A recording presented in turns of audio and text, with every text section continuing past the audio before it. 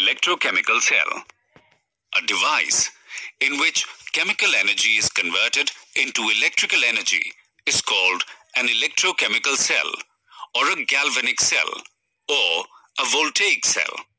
In an electrochemical cell, a spontaneous redox reaction is carried out in an indirect manner and decrease in free energy during the spontaneous chemical process appears as electrical energy.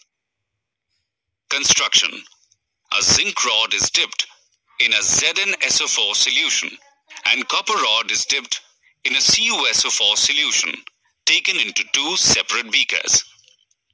Zinc and copper rods, which act as electrode, are connected by a conducting wire through a voltmeter. The two electrolyte solutions are connected through a salt bridge. It is an inverted glass U-tube filled with a warm concentrated solution of some electrolyte.